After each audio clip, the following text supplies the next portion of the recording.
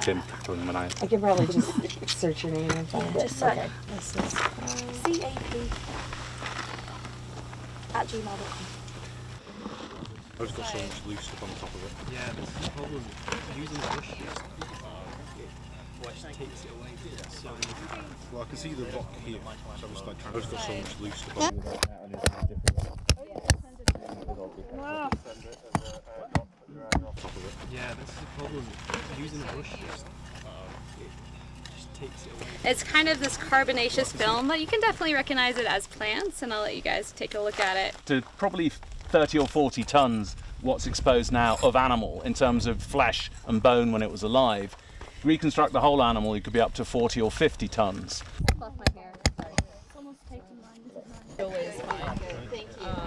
You're welcome. Actually, have any? Just the shape of this is quite frame casing. Just one But it's really soft. It's on there. Let me. Right. I mean, I now we've got this weird like Machu Picchu thing going on. um, but yeah, the only thing. All right. Can I see your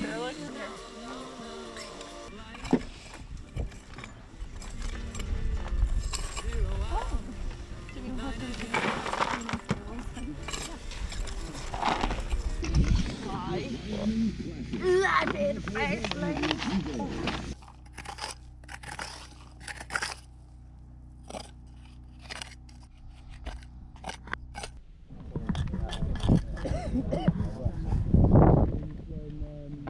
there's pressure. So uh, when you when you when you try to uncover a football, it's got a ripple sandstone underneath, and it's just mm. dipping in there. So Or I could be completely wrong. I'm challenging. I'm challenging the veterinarian. Yeah, this is what yeah. happened. This is so good to see it, like to see it inside you like this, and makes them makes them scientific. Yes. Because if I Tell me were, what you think. Yes. I would probably guess. Is it a digit? Is it a phalanx? I mean, if Um, in a the big animal, that would be the even- size of a. No, three. Those are that. these bowl-like structures already coming out of the huge.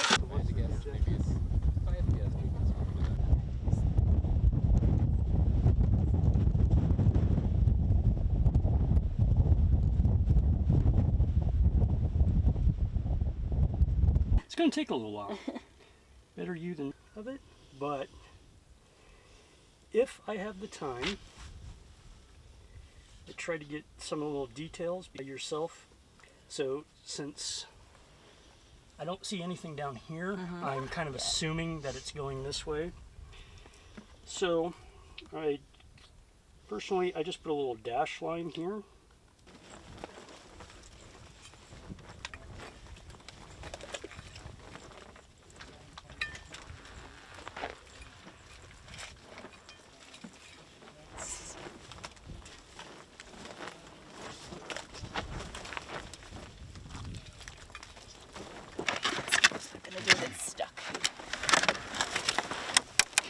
Feetsies.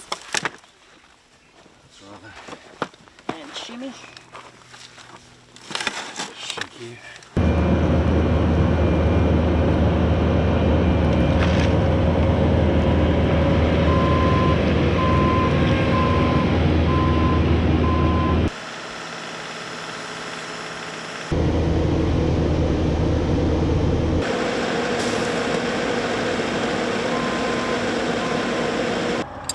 Works well.